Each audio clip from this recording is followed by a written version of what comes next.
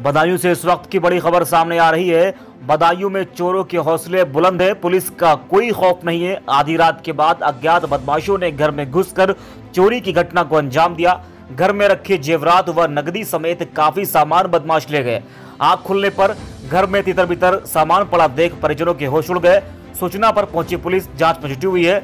Usaid थाना क्षेत्र के रिजोला गाँव गंगी नगला का मामला है। तो बदायूं से खबर आपको बता रहे, जहाँ चोरों के हौसले बुलंद है, पुलिस का कोई खौफ नहीं है।